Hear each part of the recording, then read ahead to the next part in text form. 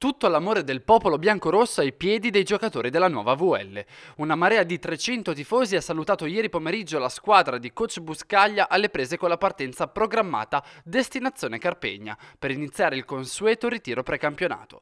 Un incontro caloroso avvenuto all'esterno dell'Hotel Flaminio dopo le rituali visite mediche svolte tra ieri e domenica e che ha visto il coinvolgimento e il trasporto emotivo da parte di tutti i giocatori, tra confermati e nuovi acquisti.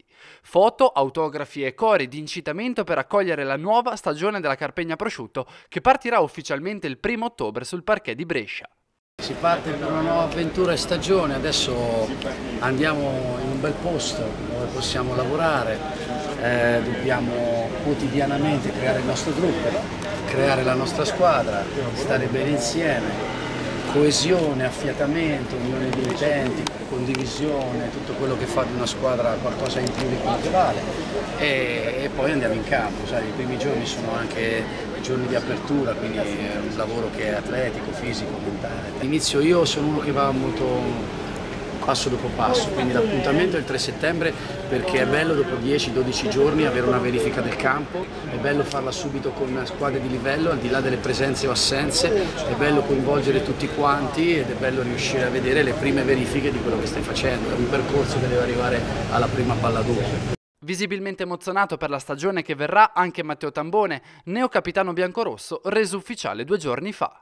Essere capitano già di una squadra è importante, ma della UL poi ancora di più. Una società storica è veramente emozionante, ma allo stesso tempo sono carico e pronto per incominciare. Sicuramente la voglia di portarci a casa qualcosa è tanta, quindi cominciare col piede giusto, ma con l'idea di poter vincere qualcosa sarebbe molto figo. Abbiamo Brescia e Venezia subito, squadre importanti, dobbiamo dimostrare di essere già all'altezza nei primi nelle prime partite, quindi è giusto incominciare molto concentrati.